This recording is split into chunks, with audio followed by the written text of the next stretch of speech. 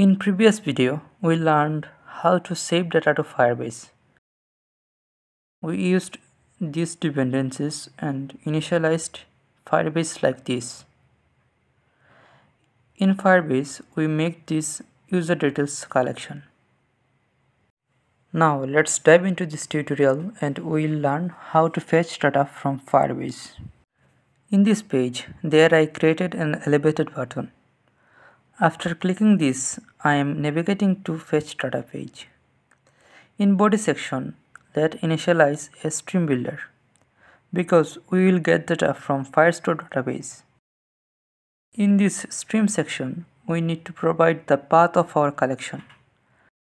Let's write firebase firestore.instance.collection and in this parameter we will pass user details because we make our collection named user details and end it with writing dot snapshots.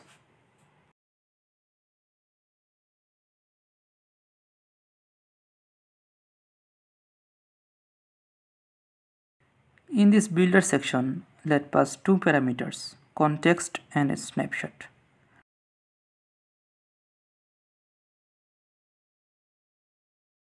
Now, if our collection is in waiting state, we will show a circular progress indicator.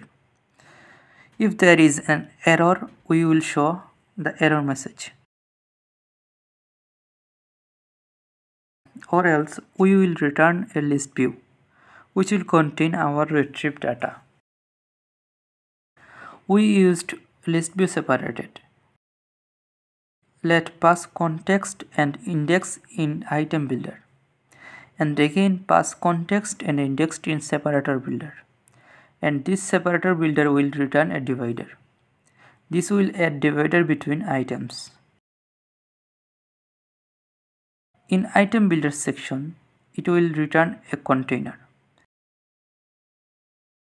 Let's use child as list tile.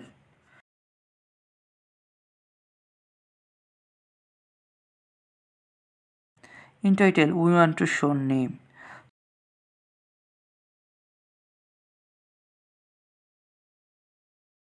So in this section, inside the text widget, write snapshot.data.docs and pass name here. And item count will be the length of the document.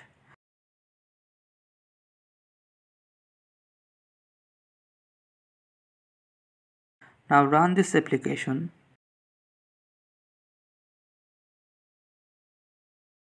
Click this button.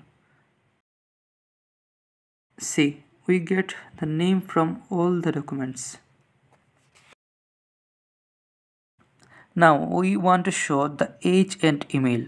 That's why in subtitle section we use a columns.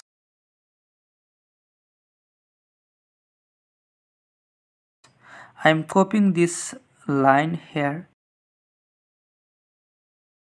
replacing name with age and email.